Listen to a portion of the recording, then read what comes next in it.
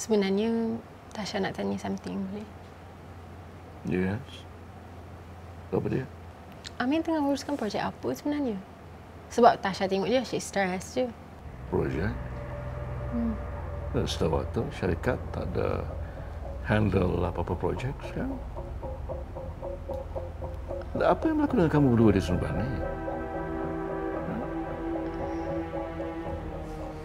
Tak ada apa-apa. Tak sedar diri punya orang tua. Dia ingat cucu dia tu dah berubah. Eh, cucu kau tu tak pernah berubah lah.